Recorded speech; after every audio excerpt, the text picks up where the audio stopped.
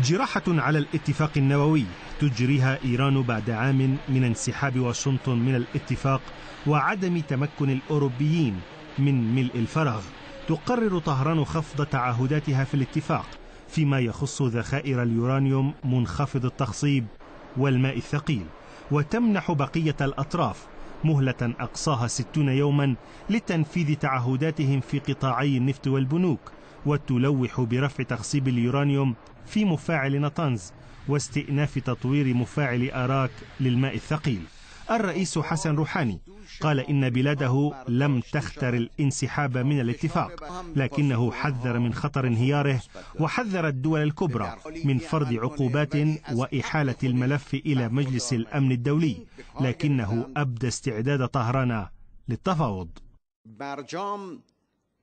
نقول للدول الخمس المتبقية في الاتفاق النووي إن طهران على أتم استعداد للتفاوض في إطار الاتفاق فقط. وبعد مرور الستين يوما سنقلل من التزاماتنا في الاتفاق وسنزيد مستوى تخصيب اليورانيوم في حال لم يفي أعضاء الاتفاق بتعهداتهم.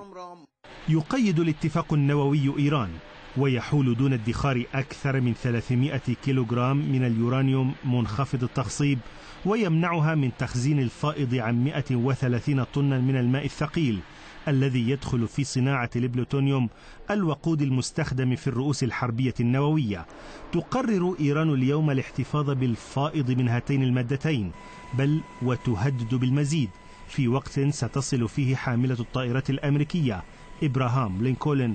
وقذيفات وقطع بحرية إلى مياه الخليج والمنطقة بينما تحذر واشنطن من خطط إيرانية لاستهداف قواتها المنتشرة فيها.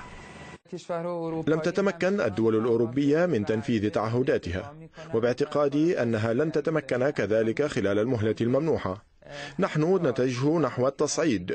ستواجه إيران مزيدا من التوتر سواء مع واشنطن أو العواصم الأوروبية. لم ترد طهران الانسحاب من الاتفاق النووي. فردت في إطار الاتفاق لكنها تحذر من ردود تقول إنها أكثر قساوة وخطرا عليها وعلى العالم. تلقي إيران بكرة الاتفاق النووي في الملعب الأوروبي وخلال شهرين.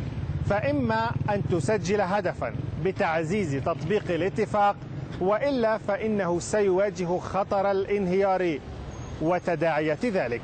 عمر هواش تي. طهران.